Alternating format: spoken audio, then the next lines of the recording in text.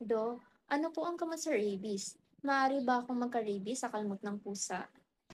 Kapag ang tao po ay nagpakita na ng simptomas ng rabies, tulad po ng takot sa tubig, takot sa liwanag at paglalaway, ay hindi na po ito magagamot at maaari po itong ikamatay.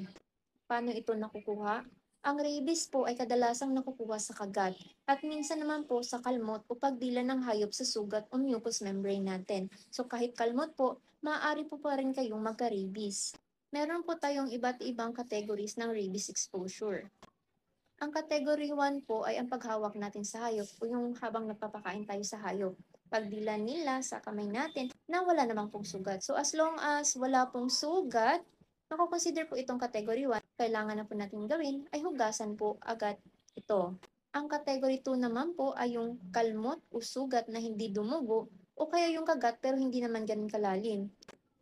Kapag ganito po ang rabies exposure ninyo, agad pong hugasan ito at agad po kayong pumunta sa center upang magpabakuna laban sa rabies.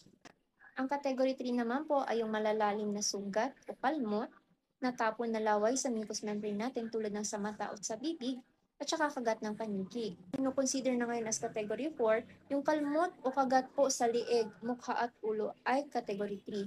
Kapag kayo po ay may category 3 exposure, agad po itong hugasan at pumunta sa inyong center upang magpabakuna ng anti-rabies at immunoglobulin. So, paano ito maiiwasan? Hugasan ang sugat ng sabon at tubig for at least 30 minutes upang matanggal ang virus na napunta sa ibang bahagi ng balat at hindi na mapunta sa sugat. Huwag pong gagamit ng bawang. Hindi po ito nakakatulong upang mapatay ang rabies at maaari din po itong makalala sa sitwasyon dahil maaaring itong madamish ang tissue at lalo makapasok ang virus sa sugat. Huwag din po kayong magpapatandok. Hindi po ito nakakapatay ng virus at lalo po kayong maririsk for tetanus. The best way po upang maiwasan ang rabies ay magpabakuna kayo agad laban sa rabies sa inyong mga health center. And lastly, Be a responsible pet owner po. Ang alaga po natin ay kailangan din pong mabakunahan laban sa rabies taon-taon upang sila ay maprotektahan laban dito at nang hindi ito may pasa sa inyo.